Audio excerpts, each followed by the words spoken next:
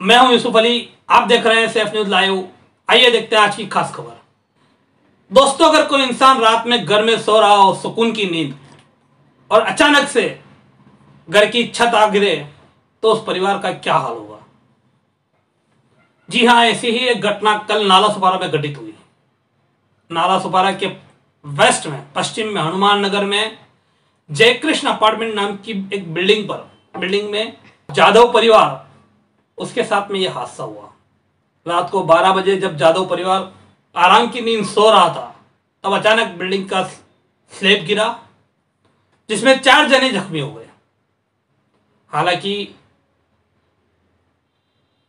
किस्मत अच्छी थी इन लोगों की, कि कोई बहुत बड़ी दुर्घटना नहीं हुई, लेकिन फिर भी इन सभी जख्मी लोगों के हाथ में, पैर में काफ़ी चोटें आई।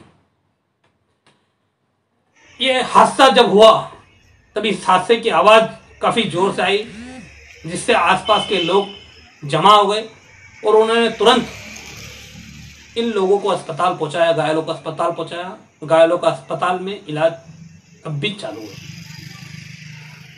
अब इस बिल्डिंग के गिरने को लेकर ऐसी भी कुछ जानकारी सामने आई है कि ये बिल्डिंग अति धोखादायक बिल्डिंग की श्रेणी में है, जिसे महानगर पालिका ने इस बिल्डिंग की सोसाइटी को पहले ही बिल्डिंग को गिराए जाने का नोटिस दिया हुआ है। लेकिन फिर भी बिल्डिंग वासी उसी बिल्डिंग में रह रहे हैं। तो कहीं ना कहीं अब ये हादसा होने के बाद में ये चीज़ और भी ज़्यादा ज़रूरी होगी कि इस बिल्डिंग को खाली करवाया जाए और खाली करवाया जाकर इसको जल्द से जल्द इस बिल्डिंग को डिमोलिश किया जाए। ताकि आने वाले समय में इस तरह के और भी हादसे सामने नहीं आए। देखिए इस पूरी घटना का ये वीडियो और पूरी सुनिए जो लोग जख्मी उनकी आप बीती मैडम आपके परिवार के सदस्य घायल हुए कल रात को छत की सीलिंग जो है वो गिर गई। क्या कहना चाहेंगी? क्या कारण है? क्या कहेंगी? एक्चुअली रात को ये बारह बजे हादसा हो गया। हम लोग सब सो रहे थे। लेकिन अचानक से छत गिरने की वजह से हमें पता ही नहीं चला कि एक्चुअली क्या हुआ, क्योंकि लाइट भी चली गई थी। हम लोग सब भाई बहन चिल्ला रहे थे कि क्या हुआ, क्योंकि दो बच्चे हैं, मेरे भाई, मेरा बड़ा भाई, भाभी और मैं। एक साथ हम लोग हॉल में सोए थे और दूसरा छोटा भाई, उसकी बीवी और एक छोटी बच्ची, वो बेडरूम में सोए थे, इसके लिए वो बच गए। मुझे भी कुछ नहीं लगा, मैं भी सेफ़ हूँ, लेकिन मेरे बड़े भाई को बहुत ज़्यादा चोट लगी है। अभी उसकी प्लास्टिक सर्जरी चल रही है, उसको नायर हॉस्पिटल शिफ्ट किया है। अभी ये बिल्डिंग तो हमारा रीडेवलपमेंट में गया है उसको पाँच साल हो गए। लेकिन अभी तक कोई भी बिल्डर या सोसाइटी कोई कुछ नहीं कर रहा है। क्या आपने इसकी कंप्लेन की? मैंने रात को चार बजे पुलिस कंप्लेन की है। साढ़े चार बजे तक लगभग पुलिस आई थी उन्होंने पंचनामा किया है। मुझे आज सुबह बोला था कि दस बजे सोसाइटी के लोगों को लेके आओ लेकिन अभी तक सोसाइटी के लोग कोई जमा बिल्डर की तरफ़ से क्या कहा गया? बिल्डर आके खाली देख के चले गए उन्होंने तो कुछ नहीं था क्या मांग है आपकी? बस मैं खाली यही चाहती हूँ कि जो भी हमारा नुकसान हुआ है जो भी फिजिकली मेंटली तो वो कर नहीं सकते लेकिन फिजिकली और आ, क्या बोलते हैं उसको फाइनेंशियली जो भी हमारा नुकसान हुआ है वो हमें मिलना चाहिए। और अभी हमको तो बीएमसी वाले ने बोला है कि अभी आप लोग एंटर नहीं कर सकते घर पे क्योंकि घर की हालत तो ऐसी है कि हम लोग जा भी नहीं सकते। जिसके साथ ये हादसा हुआ है जो घायल हुए हैं उनकी हालत अभी कैसी है? मेरी भाभी को चोट लगी सर पे पैर पे लगा है पूरे हाथ पे लगा है दूसरी बच्ची है उसको पूरे पेट पे वो पूरा स्लैब गिरा है और मेरा बड़ा भाई ज़्यादा घायल है। वो, वो भी कहाँ? वो अभी अस्पताल में नायर हॉस्पिटल में इसको शिफ्ट किया है।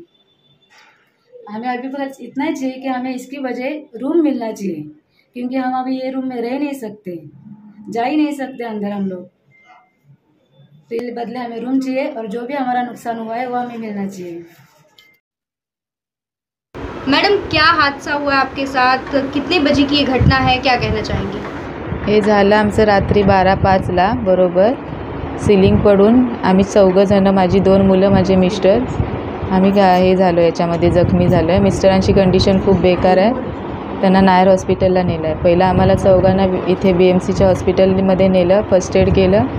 आम्हाला तिघी आम्हाला तिघांना स्टेबल झाल्यावर घरी सोडलं. त्यांना जास्त कंडिशन असल्यामुळे मुंबईला नायर हॉस्पिटलमध्ये नेलं आहे इसके अलावा आपके साथ आपके फैमिली में और कौन कौन रहते हैं? फैमिली में और मेरे देवर है देवरानी है उनकी छोटी लड़की है और ननन भी है एक। लेकिन वो दो अंदर सोए थे देवर देवरानी। ननन बेड पे सोई थी इसलिए उसको नहीं लगा कुछ।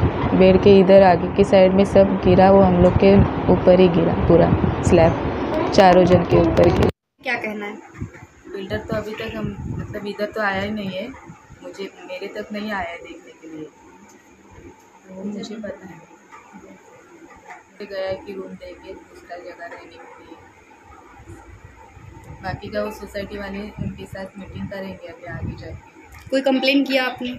हम लोग ने रात को कंप्लेन किया पुलिस कंप्लेन पुलिस आके गई देख के पंचनामा करके वो उन्होंने बोला है कि ये सब अपना हाउसिंग सोसाइटी का जो ये रहता है ऑफ़िस और सोसाइटी उनका ये है। क्रिमिनल केस नहीं है ये। ऐसा पुलिस ने बताया हम लोग को, फिर अभी फिर से जाने वाले पुलिस स्टेशन पे फ़ाइल करने के लिए। हमारे चैनल सेफ़ न्यूज़ लाइव पे अपने व्यापार एवं सेवा से संबंधित विज्ञापन हेतु mobile number seven three eight five nine five two seven eight six अथवा seven seven three eight two six seven seven eight six पर संपर्क करें।